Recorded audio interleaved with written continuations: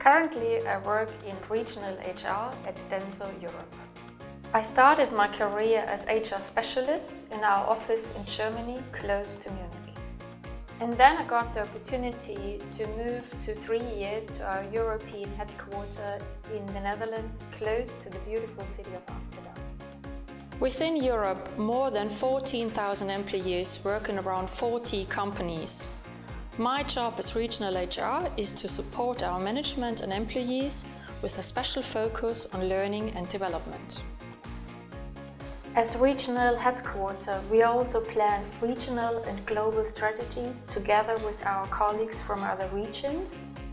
And we also work on global projects together with colleagues from other regions and from our headquarter in Japan.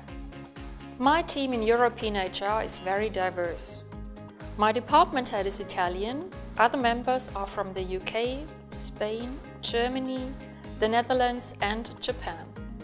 The difference in the culture and style sometimes lead to misunderstanding, different opinions and approaches.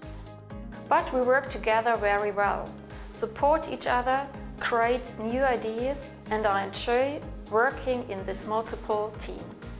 In fact, the process to overcome the cultural differences is truly interesting and I can learn a lot. Currently, I'm working on a very interesting and challenging global project to create global HR management systems for our senior leadership population. We would like to enhance the development and rotation of human resources beyond companies and regions.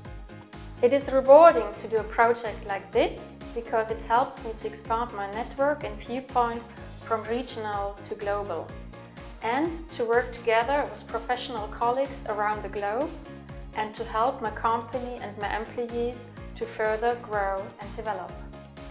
I want to realize and implement these global HR systems in the near future and in addition I want to help Denso becoming a truly global leading company using our full potential of diversity.